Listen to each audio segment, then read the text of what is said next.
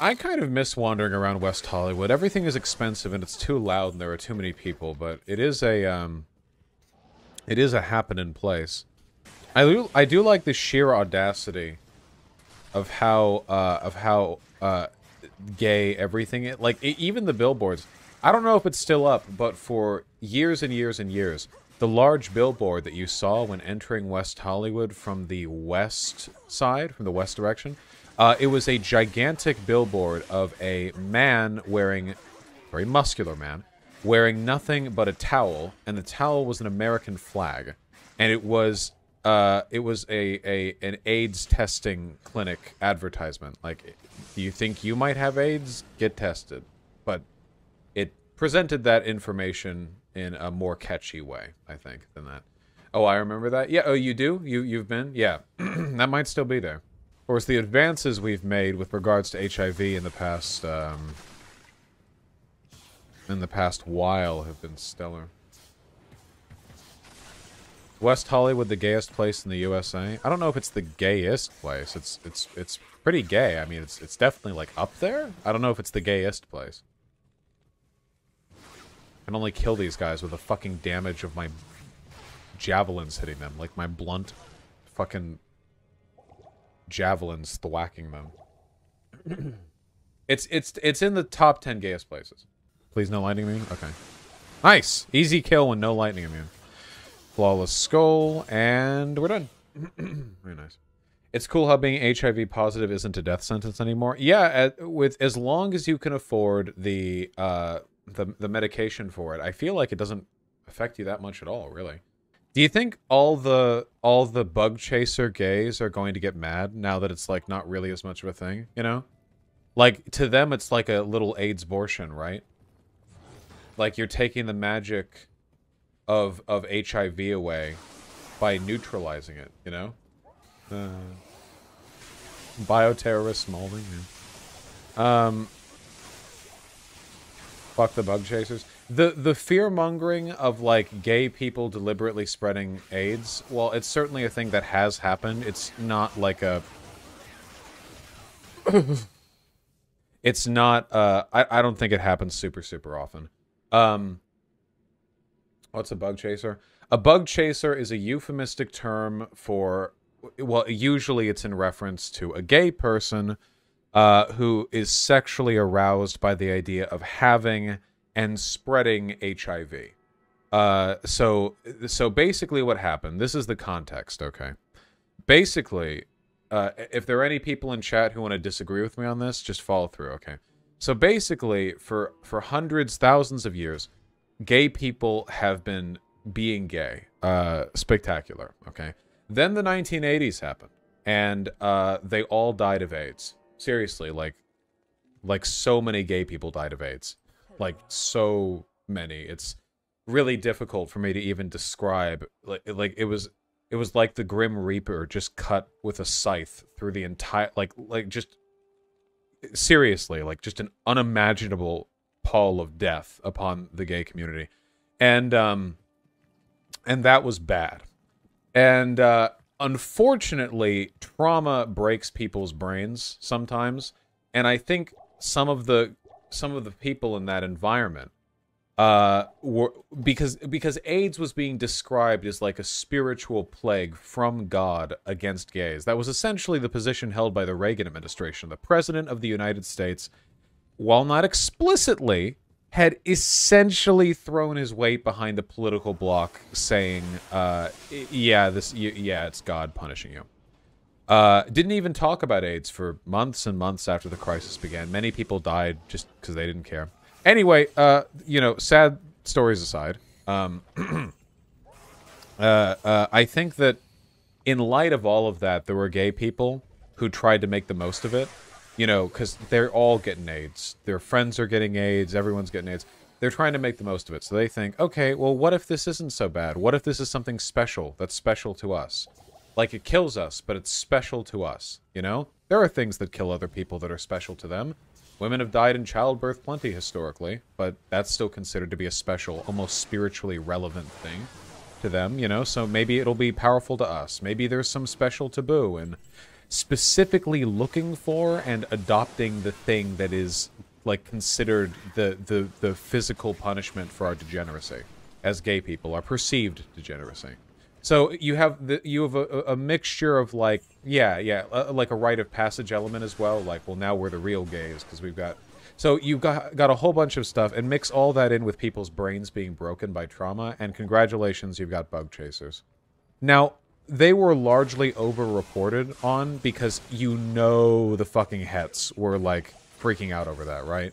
Like you know like there could be a story on the news of like this one gay person deliberately spread AIDS, and then you know the Reagan administration is oh the gay people are deliberately killing themselves. There, so it, it, was it's it's it was definitely an overstated thing. I don't think it's super common, um, but at least nowadays most bug chasers, and I want to be clear by the way, okay, uh, and I and I mean this with with no ill offense uh, intended. Uh, you are degenerate. Uh, uh, you're degenerate. Scat fetishists are degenerate. Uh, all of you are degenerate. But you have a legal right to do what you want. How, as long as the other people uh, are consent to it. And I think in in modern kink circles, bug chasing is something people are explicit about. Like, I, to my knowledge, in the bug chasing community, which is again not very large, they are ruthlessly exclusionary and condemnatory towards people who non-consensually spread any kind of disease. There's a big difference. Look, I don't like scat fetishes, okay? But if you and another person who wants to get pooped on meet up and poop on each other, okay, whatever. But if you go find a person who doesn't want to get pooped on and then shit on their chest, that now we've got a whole other we've, we've got a whole other dealio here. I'm just saying, uh, the, the consent matters even with this, and I think it's very strange, and I don't respect it, uh, except for that I I, uh, I, I respect in the abstract. You can do what you want sense. Anyway, um, the legacy lives on. I'm pretty sure that uh, on on Grindr, for example, you can literally set uh, uh, uh, uh, your profile to say that you're um, you're positive, and it's something you can look for, like like uh, poz, yeah, poz, like HIV positive. Uh, you'll look for it. Now, that's not necessarily bug chasing. That could just be disclosing that you have the illness. But after all, if you've got HIV, you might want to look for other people with HIV because then there's no issue between the two of you. You're not, I mean, easy as that, right? Of course, nowadays, if you're taking PrEP, uh, as a person without HIV, the odds of you getting HIV are.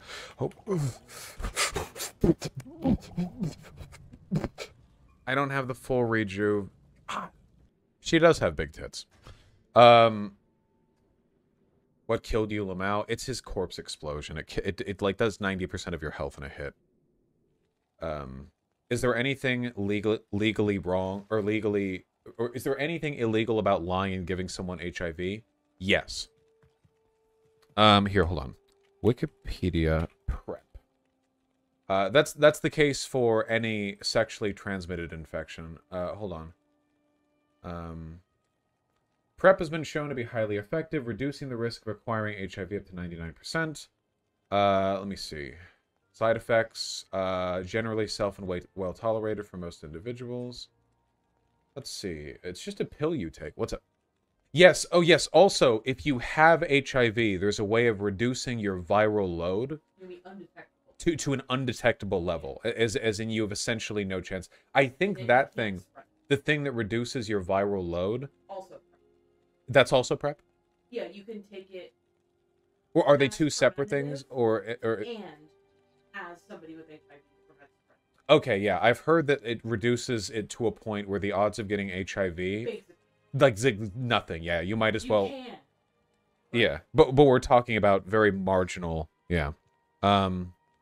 Yes. Hold on. Is HIV treatable for the average person? Uh, it'll probably strain you. Okay, here we go. So PrEP is good, but here's another thing. Okay. People with HIV should take medicine to treat HIV as soon as possible. HIV medicine is called antiretroviral therapy, or ART. What a nice name. If taken as prescribed, HIV medicine reduces the amount of HIV in the body, the viral load, to a very low level, which keeps the immune system working and prevents illness. This is called viral suppression. defined as having less than 200 copies of HIV per milliliter of blood. HIV medicine can even make the viral load so low that a test can't detect it. This is called an undetectable viral load. Pigeon, can I help you? She's just in the bathtub. Just she I just go in there, she screams. She's just sitting in the bathtub. There's nothing, there's no one. Why? Are you saying you want a bath? You hate baths. Yep. Yep. Ah, it still hurts, even with your claws trimmed. Yep. Okay, yeah, here. So guys, this is on the cdc.gov. Right here, okay? Risk of HIV transmission with undetectable viral load by transmission category. So if you have HIV and you've taken HIV medicine to the point where it's undetectable, look at this. Transmission category, sex, oral, anal, or vaginal. Effectively no risk. It is so effective that it it, essentially it's yeah, it's it's essentially zero. Uh now if you're uh uh, uh if you have a womb and you're giving birth, 1% or less and passing HIV to the child still a, a concern, but uh, sharing syringes or other drug injection equipment, unknown but likely reduced risk. Breastfeeding substantially reduces but does not eliminate risk. So it looks like it birth and breastfeeding are still risky. Uh, uh, but in terms of sex, which is the only thing I'm doing, uh, effectively no risk. So that's nice. Get on your medication, people. Oh yeah, we've kicked HIV's ass these past few decades. People, the the thing that like is really fucking stupid is that the medical immunization. Sorry, I shouldn't say immunization. The the the medical uh cuckening of HIV has been so remarkable and it's gotten very little mainstream attention because people still think of it as a fucking gay disease.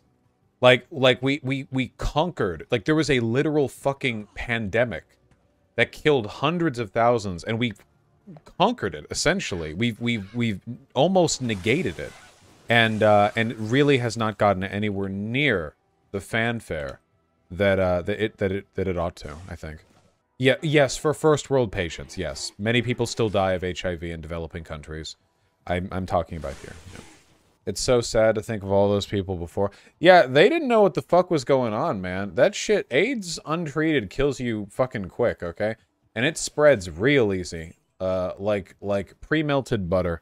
It just you, you've got your communities in San Francisco or whatever, and all these gays, and they're doing oh they're doing lots of butt stuff. They're just oh my god all over the place, and um, and they're and they're doing it and they're doing it the exact same way they always have. Lots of butt, lots of stuff. Uh, and then they all just start fucking dying. like it's like bizarre. Um, yeah. HIV becomes AIDS and AIDS doesn't kill you getting a cold does. Yeah, yeah. Well, right. The yeah, the the the, the purpose of it is not the purpose. The effect of it is to uh, destroy your uh, immune system so that just about anything uh, uh, can kill you. It was so heavily stigmatized that Princess Diana touching a person infected without gloves made national headlines. Yeah, this is one of the base things Princess Diana did. She shook hands with a um, with a, a person known to be infected with AIDS without wearing gloves.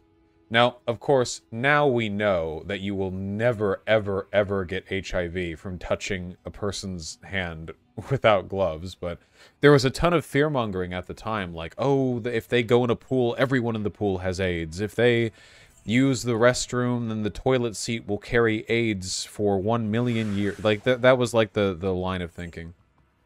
Where did HIV and AIDS come from? Uh, I think it came from somebody eating monkey meat in Africa or some shit, right? It, it's it's derivative of some monkey. Like like there's like a type of monkey where like half of them have AIDS. I think. Like, but to them, AIDS is like a cold. You know, all all all pandemics are like that. You know uh, same with COVID nineteen. Uh, uh, same with um, cholera. Uh, uh, the the Black Death. All of all of these like plagues, things that lead to pandemics. They're diseases that are common and more harmless in other animals, but are lethal to us. You know, is that real or just an urban legend? What part of the thing that I just said? It's more widely uh, believed that it came from Plumine. Oh well, I don't know the specifics of of, of HIV's origin. Um, Yeah, I, I think I heard it came from monkeys, but whatever. Anyway, that's just how these things uh, tend to happen, you know?